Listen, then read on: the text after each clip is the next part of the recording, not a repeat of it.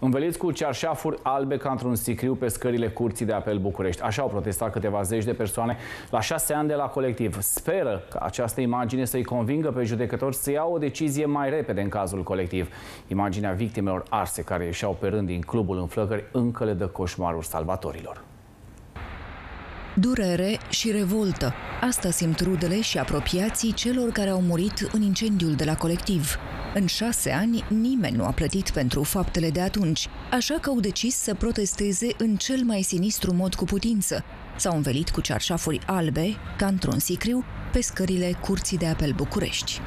Alexandru Hogea, Cătălina Ioniță, Mihai Cătălin Alexandru sunt doar trei dintre cei 65 de oameni care au pierit în urma incendiului de la colectiv. Rudele lor au venit și s-au așezat lângă poze, s-au învelit cu un cearșaf alb, care semnifică moartea în semn de protest. Acest alb este o, un simbol, în afara al purității, al victimei. Mesajul a fost că Chiar dacă victimele din 30 uh, noiembrie, octombrie 2015 aveau o față, uh, în continuare, noi suntem victimele unui sistem care nu ne, ne ajută să găsim dreptatea. Cei vinovați au primit condamnări în primă instanță, iar dosarul încă se judecă. Nimeni nu face nimic în țara asta, nimeni nu se gândește la victimele care au murit. Nu avem justiție, nu avem pe nimeni de partea victimelor și este dureros, e sfârșietor, ne-am săturat.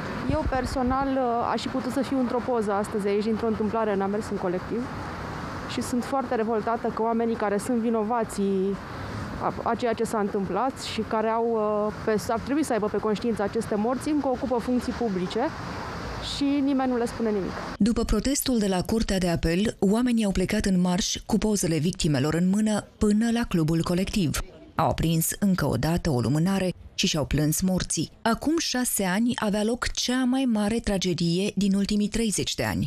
Medicul Lucian Horhota de la Maternitatea Bucur a fost acolo și a resuscitat pe cei care aveau nevoie de ajutor. Erau căzuți deja jos și uh, dar erau înșirați uh, 5, 6, 7, unii erau deja declarați decetați de s-au adus decedați din gang uh-huh. și pus deja în folie din aceea reflectorizantă. Își amintește cu groază de acea noapte și de cei pe care i-a salvat. Datorită intoxicației ieșeau din mediul ăla, mai respirau ce mai respirau, dar deveneau din ce în ce mai uh, inconștienți, dădeau de aer proaspăt, dar își luaseră deja cantitate mare de monoxid de carbon și bioxid de carbon și cădeau jos efectiv că, din picioare și începea brusc o respirație agonică, rară, ca de înainte de a muri. 65 de persoane au murit în urma incendiului de la colectiv, iar peste 150 au fost rănite.